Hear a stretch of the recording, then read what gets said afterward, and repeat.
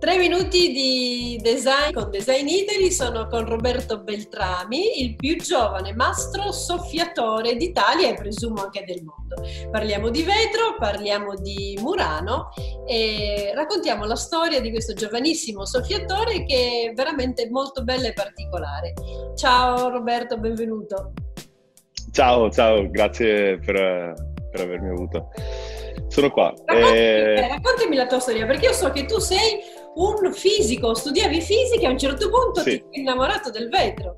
Esatto, sì, io sono eh, di origini bresciane, eh, quando avevo 16 anni mi sono trasferito in America per, eh, per finire le scuole superiori e poi avevo iniziato a studiare fisica alla Boston University, che è sempre stata una mia grande passione, il, la scienza e insomma il, come funziona il, il mondo intorno a me e sono sempre stato comunque appassionato di, di, lavoro manuale e quindi ho visto una mostra alla fine del secondo anno, una mostra di, di vetri al Museo di Arte di Boston di Dale Ciculi.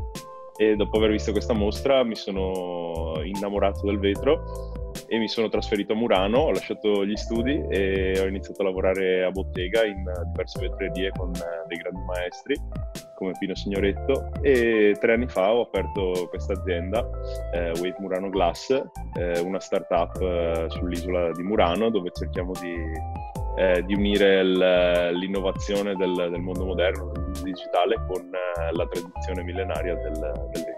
Ma è bellissimo, senti, quindi raccontaci come, come, avviene il tuo lavoro, quali sono le tue ispirazioni, come lavori, perché tu poi lo fai direttamente proprio tu, perché ho visto le fotografie che sì. poi faccio vedere in sovraimpressione, sei proprio tu che fai tutto il processo di produzione. Sì, esatto, eh, il, lavorare il vetro è un lavoro molto pesante, però che dà anche molte soddisfazioni, eh, sei sempre a contatto con il fuoco, con, eh, con il vetro incandescente però è un lavoro unico che, che dà delle soddisfazioni incredibili e, e insomma il, il vetro ha, dà un'infinita possibilità di, di soluzioni e di, di creazioni.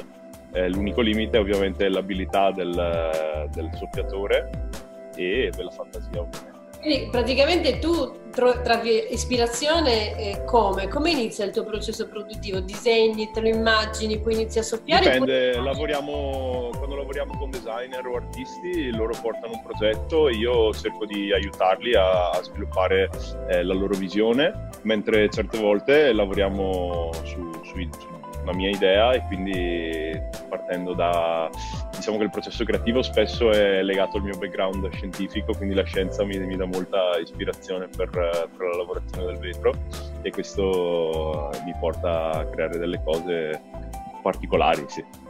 Bene, io ti faccio i miei più grandi auguri e soprattutto i complimenti per il tuo coraggio e per l'intraprendenza che hai avuto e soprattutto per coltivare un mestiere così nobile come l'arte del vetro. E dico a tutti come al solito, comprate meglio, comprate italiano e comprate su Design Italy. Ciao Roberto, grazie. Ciao, grazie.